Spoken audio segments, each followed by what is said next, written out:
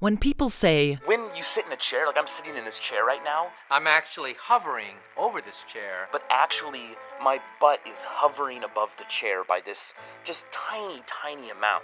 because of the electrons of my body Because the electrons of my butt, are repelling the electrons of this chair. it's not us actually touching the subatomic material of the object. is that really true? Does it mean that MC Hammer has just been singing about physics all along?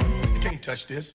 Alas, this doesn't take into account the fact that the universe is quantum mechanical. For example, you probably know that electrons behave like spread out waves, and from chemistry, you probably also know that it's perfectly fine for two negatively charged electrons to share the same energy level of an atom or molecule, as long as they have their intrinsic spins oriented in opposite directions. So even though electrons repel each other, their wave packets can overlap. For example, check out this image of a ring of iron atoms sitting on the surface of copper. See the overlap of the spread out electrons? Now, would you call that touching? If you look at a dictionary, touch is usually defined as physical contact, while contact is defined as touching physically.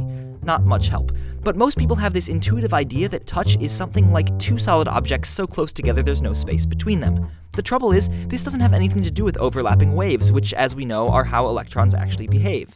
So it seems that touch is a word that may just be incapable of describing the actual universe as we understand it today. Either that, or we should change our notion of touch to mean interaction at short distance, which is really what happens between electrons when you sit on a chair. But regardless of whether or not we ever actually touch anything, I think that when we talk about the electromagnetic repulsion of your butt and your chair, what we're really trying to say is hey, remember how cool it is that we're made of atoms and molecules, and that other people made of atoms and molecules were clever enough to figure that out?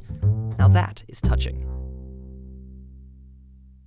This episode of Minute Physics is supported by Audible.com, the leading provider of audiobooks across all types of literature, including fiction, nonfiction, and periodicals. I highly recommend Surely You're Joking, Mr. Feynman, a hilarious and fascinating autobiography of the amazing man and physicist Richard Feynman, and you can download this audiobook or another of your choice for free at audible.com slash minutephysics. Again, thanks to Audible for making it possible for me to keep producing Minute Physics, and for giving you a free audiobook at audible.com slash minutephysics.